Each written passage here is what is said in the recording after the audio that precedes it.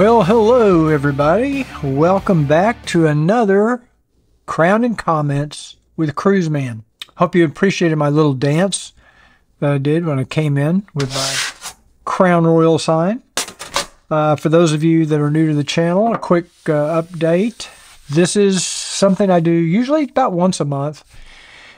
And um, it's sort of motorcycle related, I guess, but I just basically like to sit down and, you know, it's kind of turned in, it, it started out as just reading your comments that you would post on my YouTube channel and Facebook. And I know a lot of uh, channels, a lot of guys do these live, uh, you know, YouTube live type things. And I am not a big fan of live, so I'd rather just record it and edit it down because I don't like watching those live things because they spend all their time saying, "Oh, hi, Bill. Hey, how you doing? Hey, well, thank you, thank you." That you know, and it just, it just, I don't know. I find it just to be a waste of time. Like this isn't. Anyway, the reason I call it Crown and Comments is because I usually sit down in the evening with my favorite adult beverage, which is Crown Royal, which I have right here and I have my computer, my Mac laptop, 16 inch MacBook Pro, piece of crap that crashes on me at least once a week, uh, causing me half a day of work. I thought I'd never say that. I've been using Macintoshes since 1984. But this new M1 laptop with this new system software they came out with about a week or so ago, I mean, it's driving me crazy. Anyway, like I said, this kind of started out as a way to read your comments and respond to your comments. And it's just kind of turned into a cruiseman's bitch and moan session, you know? So, uh, which I kind of like, you know, but if you like that sort of thing, if you kind of like listening to an old curmudgeon just kind of complain, uh, well, then maybe, maybe you need help. Maybe you're in worse shape than I am. I don't know. But if you do, and I, I'm already on fire and I haven't even had my drink yet. So, I haven't even started. It's late. It's for me. It's late. It's about seven fifteen at night. I usually have my cocktail around five five thirty. So I would imagine I'll go to sleep right after this. In fact, I may pass out during the video, so be be prepared. Uh, I've got a few things I want to talk about just to catch you up on some news. If you see some weird things on my arm or my face, uh, I visited my dermatologist again this week. He really went after me with the uh, uh liquid nitrogen. I, th I, think it's liquid nitrogen, the, the stuff that freezes all the crap off, you know when you get old and uh, things start falling apart. So anyway, uh, that's if you see some marks on me. Ricky tried to cover up some stuff with makeup because it's uh, pretty gross. It's like Frankenstein's monster out here. Anyway, that explains that. Also, let you know that last night they finally picked up that Indian Pursuit. I've had that thing. It seems like I've had it for three months. I may have. But they finally came and picked it up last night in the biggest trailer I have ever seen in my life. And um, the guy wanted me to drive it up on the ramp on the trailer. I wasn't going to do that. I'm not going to take the risk of the liability. So I pulled it out to the street and I let him take it up the ramp. And if you see in the video, I think you'll see why. I may show you a little clip of that. So anyway, Indian is gone. 2022 Goldwing is still here. I'm still doing some testing and reviews and a few things I'm going to do to that. So we just got back from a cruise a few days ago uh, where we were in the Caribbean, where it was nice and warm, obviously. And we get back here and it's like, you know, 45, 50 degrees, 35 degrees at night. You know, it's really getting cold. Uh, I haven't even ridden the, the bike in the morning because it's been down like 35, 36 degrees. I kind of have a 40 degree limit when it gets under 40 degrees, I kind of back away and take the car uh, just because I'm a wimp. And plus, this 2022, 20, whatever you want to call it, the blue Goldwing uh, doesn't have any, you know, doesn't have the hand, little hand, uh, what do you call them? Little wings that protect your hands. It's got the stock windshield, which doesn't protect as well as my F4 Customs windshield does. So uh, 40 degrees is kind of my limit. Anyway, what's your limit? Do you have a limit? Uh, I know some of you guys out in Tennessee and some of those other areas, it really starts getting cold this time of year. And I know some of you are hardcore, you'll drive year round. But uh, anyway, 40 degrees is kind of my limit. So I want to take a second to remind you that I have done my initial review of the 2022-2023 Goldwing, and that's on the YouTube channel right now if you haven't seen it already. I think most of you probably have because the views are off the charts. I also did a comparison video between the 2022-2023 and my 2018 uh, because it's uh, a lot of you out there considering maybe moving up or you're looking to buy a used bike, you're trying to decide what to get. That video is doing extremely well. Thank you very much for all the views.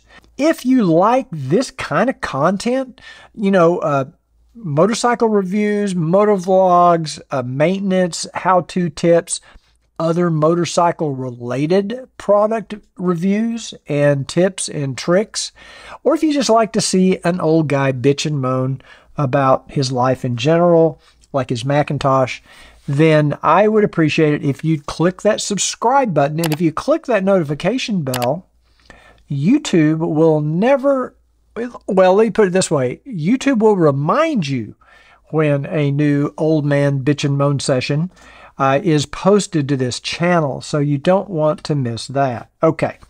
Also, take a quick note to say um, uh, my maintenance videos are the reason I can do this. They're what support this channel. There's, uh, you know, without the maintenance video sales, uh, I wouldn't be able to to fund uh, buying this piece of crap Macintosh, paying for all the software, the cameras, the lights, the studio, the makeup you know, because I want to look beautiful for you. Thousands of Goldwing owners using these videos to help them maintain their Goldwing, save the money, save all that dealer labor cost. It's outrageously expensive now. If you can even get it done in this economy, I don't know how you can get anything done now. So that is my advertisement. Also, a quick reminder if you use, I don't put this in every video, if you use promo code YouTube when you place your order for these maintenance videos, because you're a YouTube viewer, I'll assume you're a subscriber, but if you're a viewer of this video, when you purchase the maintenance videos, if you'll use that promo code at checkout, you'll save 20% off the videos. So just a little tip. Okay, let me get on to the comments because that's kind of what this is all about, I think that, and liquor. I just want to say a, a, special thank you to one of our viewers, Back Road Rider. Some of you may know or not know that you can now, through YouTube, you can basically give a creator like myself, they call it super thanks, or you can say thank you. You basically give them money. Okay. I added this to my YouTube channel a few months ago, and some people have been very generous, very nice. Some people put in $2, $3, $5, $10 every now and then. Uh, if they see a video that I've done that they particularly like, or maybe it helped them solve a problem. Maybe it was one of my how to videos. I don't know. But Backroad Rider sent me, I hope he didn't mistype it and make a mistake, but he actually sent me a $50 super thanks. And uh, so I just wanted to thank him.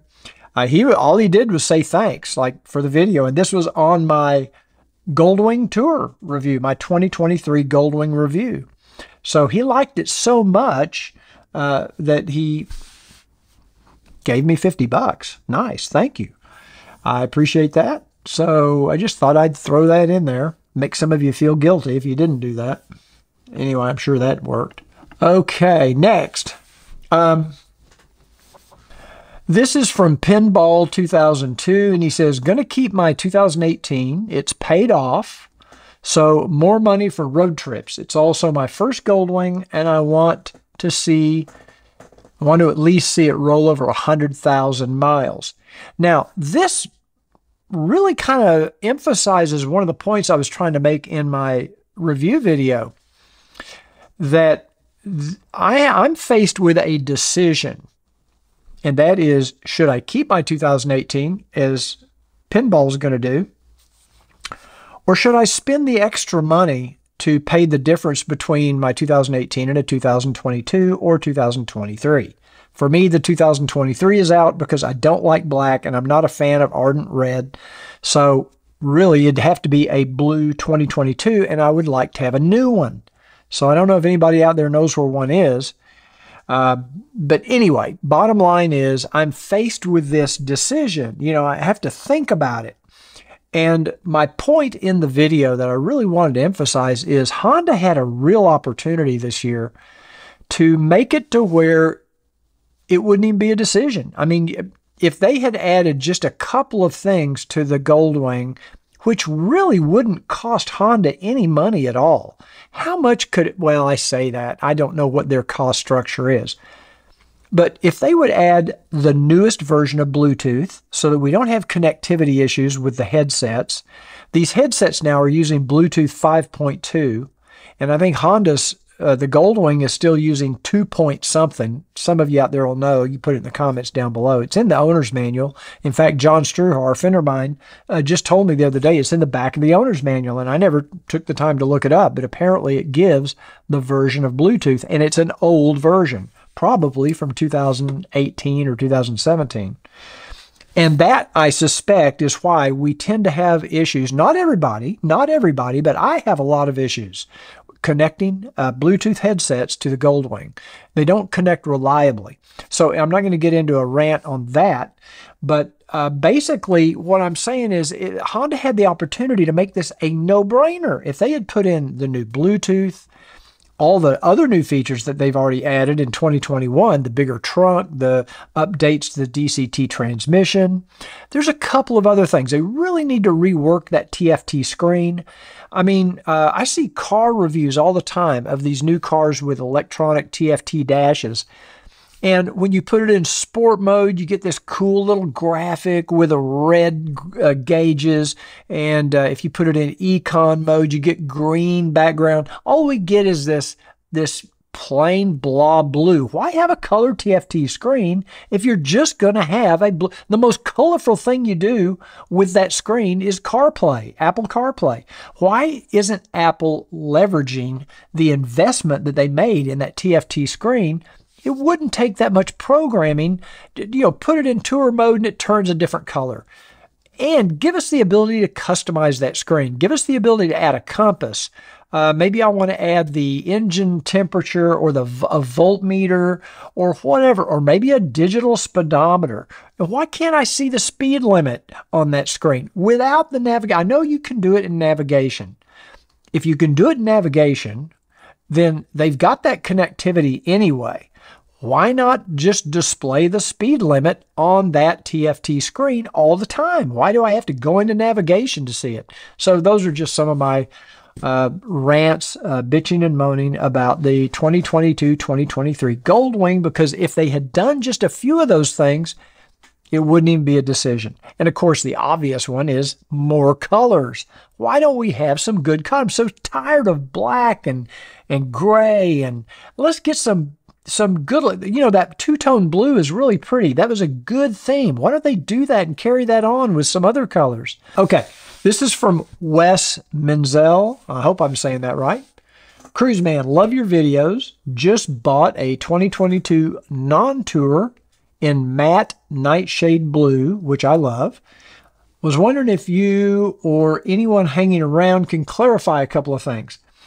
Uh, I've heard on a couple of sites about the 2021 later models come standard with fog lights and the XM antenna. Is that just for the tour models, or do the non tour ones get some of that love too? Uh, I don't know. Uh, I, I honestly, I hate to admit it, I don't pay a lot of attention to the non tour models. But somebody out there knows the answer to this because you probably have a 2021 or 2022 non tour model. Did it come with fog lights from the factory? Did it come with an XM antenna? or is that only on the tour models? So that's a pretty quick uh, as far as the comments. I didn't have a lot of comments to go through tonight. I, I talked a lot about this other stuff. And uh, just be curious to know what's the weather doing in your area. Are you still able to ride or have you put your bike up for the winter? Um, I've got some new review videos coming. In fact, I've got a couple of, I've got so much crap in this studio. It's, it's, uh, it's about to run me out of here. I've got boxes stacked around of products that uh, companies send me to review stuff, and I got to start getting rid of some of this. Some of it, after I review it, I put it back in the box and it just sits here. Sometimes I sell those things. Sometimes I give them away if I if it's people. I have a windshield sitting here. It's been here a year, maybe over a year. I did a video for F4 Customs where I had to replace a, uh, I think it was a 2016 Goldwing windshield. It was a stock windshield, but it's in really good shape. I mean, it, it it's not perfect, but it's pretty close to perfect. It's in very good shape. If anybody lives in the Dallas Fort Worth area that's driving a 2001 to 2017 Goldwing and you need a new windshield, I'll put my email address in this video. Come by and pick it up. It's yours. I just need to get rid of it. I've got to get some space in here. Uh, I've got a few other things I'm selling. I've got this a brand new set, the Packtalk Edge. Really nice Bluetooth communicator sitting right here on my table. And uh, I think I put it on Facebook. I was going to see if anybody wanted to buy it. I was going to sell it for like 400 bucks. If anybody's interested, email me, let me know. Brand new. All I did was review it and test it. I mean, I've got probably 10 headsets. I've got at least four or five Cardos. I've got four or five different Senas, plus their camera. I mean, I've got so many headsets, I don't know what to do. I've got a couple of helmets sitting in there I need to review. Actually, three helmets to review. I've got some uh, track armor uh, over here in a box I need to review. I'm doing a review right now of a new Akaso uh, action camera. So, man, it's going to be busy. I'm going to be editing all day tomorrow, try to get some of these videos prepared so when we're out of the country, I can go ahead and release them and have them ready to go. So, anyway, thanks for joining me today. I hope you enjoyed this video. If you did, please, please, please give it a thumbs up. That really helps with our YouTube rankings. Also, don't forget, not that you care if it's any consequence to you, but I have a goal of getting to 50,000 subscribers by the end of 2022. We're at about 48. Well, let me look it up. Okay. We are right now at 48,800 subscribers on my channel. And it's halfway, roughly halfway, or it is halfway through November. I'm trying to get to 50,000 by the end of the year. December's a funky month because you just never know what the traffic's going to be like, what the subscription rates are going to be like in December. But I want to get to 50,000. So if you haven't subscribed already, if you watch this channel and you like the channel, you like old men bitching and moaning about whatever, computers or whatever, uh, please take a second, click the subscribe button. It, doesn't cost a thing. It's free. Uh, and uh, I would have really appreciated it. Oh, I just noticed that uh, my 2018 compared to the 2023 or 2022 is already almost at 20,000 views in three days. That's pretty amazing. We're getting a lot of views from people that are not subscribers. In fact, there is a YouTube stat you can look at, and it, it's about 65% of my views come from non subscribers. So if you're one of those people, please subscribe. I really do appreciate it. And I will see you on the next Crown and Comments, the next Cruiseman's Motovlog, and the next Cruiseman's Review. Look forward to seeing you soon. Don't forget, doesn't matter what you ride. I could care less, or couldn't care less, I should say. Doesn't matter what you ride. Ride often, but ride safe.